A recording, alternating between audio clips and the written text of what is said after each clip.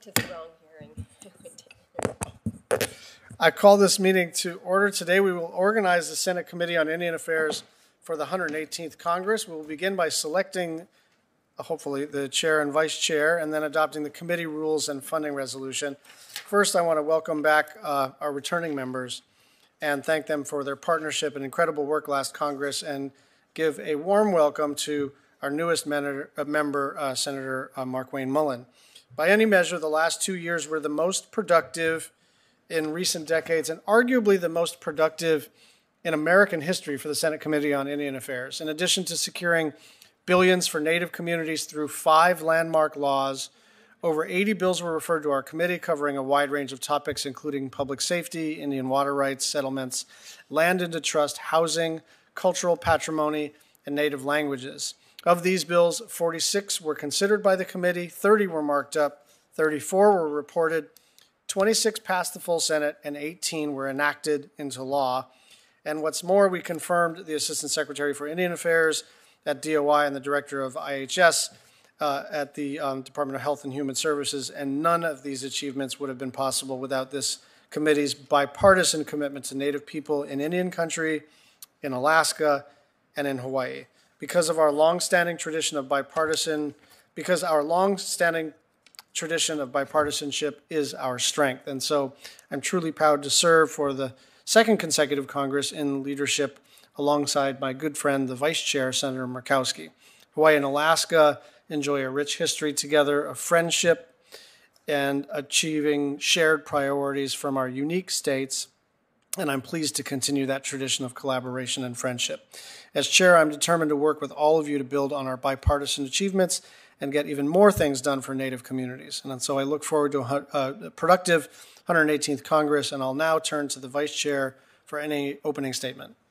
Mr. Chairman, thank you. Congratulations uh, to you. Know that uh, when you speak about our partnership, it's one that I value. I think um, it's not only friendships, but it's also uh, good outcomes. And you have noted some of the very positive outcomes from the uh, 117th Congress. I too want to acknowledge and, and welcome the newest member of our committee, uh, Senator Markwayne Mullin of Oklahoma.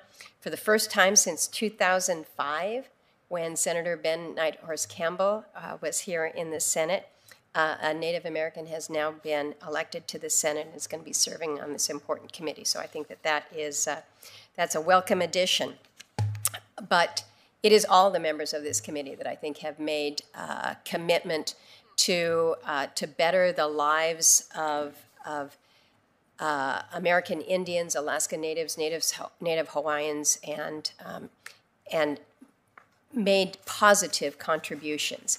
I know that this committee sometimes takes up what we would consider to be pretty parochial bills, um, but they're significant. They're important um, in in the respective areas, and so the, the time and energy that is spent to address those is important.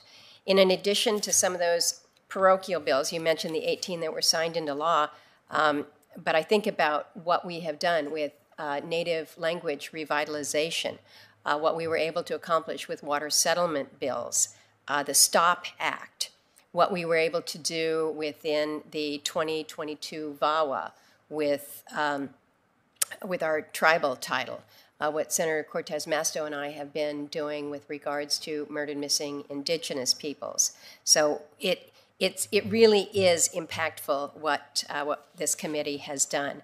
When you think about the success of the infrastructure bill last year and how we rose to meet the needs across Indian country, I'm hearing from, from people all over my state about um, the enthusiasm for what they will see uh, with better access to, to broadband that will allow for everything from um, telehealth, tele, teleeducation, um, what more they can be doing to, to make their communities stronger. And then everything that we've done with water and wastewater, the transportation, um, it, it was significant. And I think the efforts to, uh, to to make improvements in basic needs like, like water and sanitation uh, improving the health and improving the lives of, of Native people everywhere. So I thank the committee members here, uh, Chairman Schatz, for your commitment to building on the progress that we've made so far and look forward to a good 118th.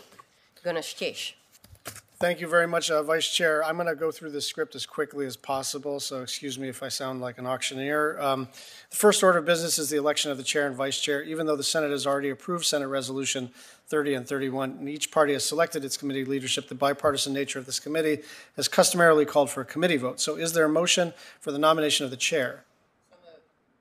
I think you, someone needs to nominate me as the Chair, yeah. Thank you. Is there? I'll second it. Thank you. Any discussion? All those in favor say aye. Uh, The nomination of the chair is agreed to. Is there, a- I I nominate uh, Lisa Murkowski as vice chair. Is there a second? Second. Any discussion? All those in favor say aye. Aye.